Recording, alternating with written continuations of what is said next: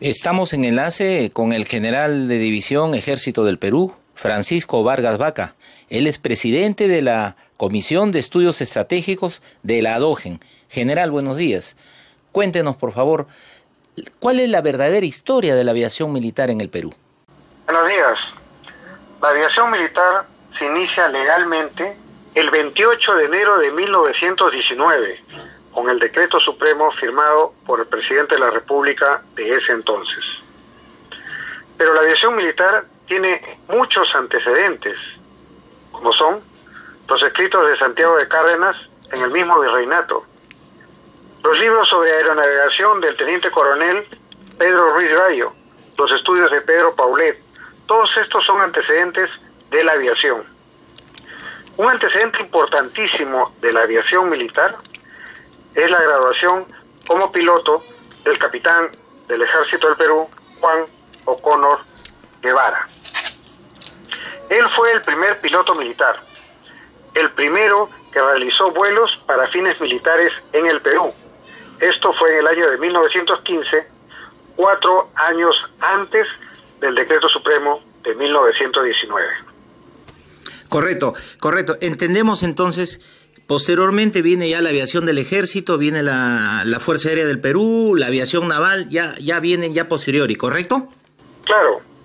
En enero de 1919 se crea el Servicio de Aviación Militar dentro del ejército, exactamente al interior del Servicio de Ingeniería del Ejército. Posteriormente se crea la hidroaviación en el Ministerio de Marina y más tarde, en 1929, se crea el Cuerpo Aeronáutico del Perú, conocido por sus siglas CAP. Este cuerpo aeronáutico es el que participa en la campaña militar de 1941. Años después, en 1950, se crea la Fuerza Aérea de Perú, institución importantísima. Es decir, ha sido toda una secuencia una progresión para ir creando sucesivamente una serie de organizaciones dedicadas a las actividades de aeronavegación castrense. Pero el germen fue este primer piloto militar del ejército en 1915.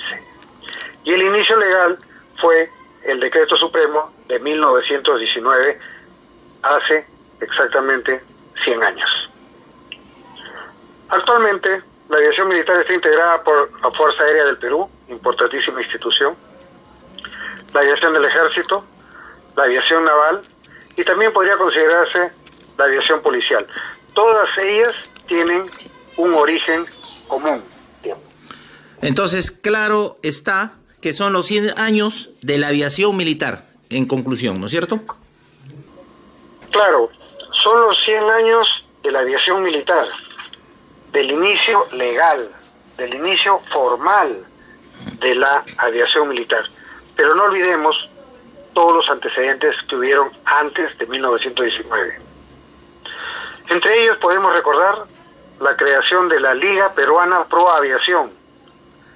Esto fue realizado por el general del ejército Pedro Muñiz Sevilla en 1910. El general Muñiz Sevilla es considerado por ello, el padre de la aviación del Perú. Y creo que es una figura que se debería resaltar con mayor fervor, con mayor entusiasmo. Como debe ser a los militares que contribuyeron con el desarrollo y la defensa de nuestro país.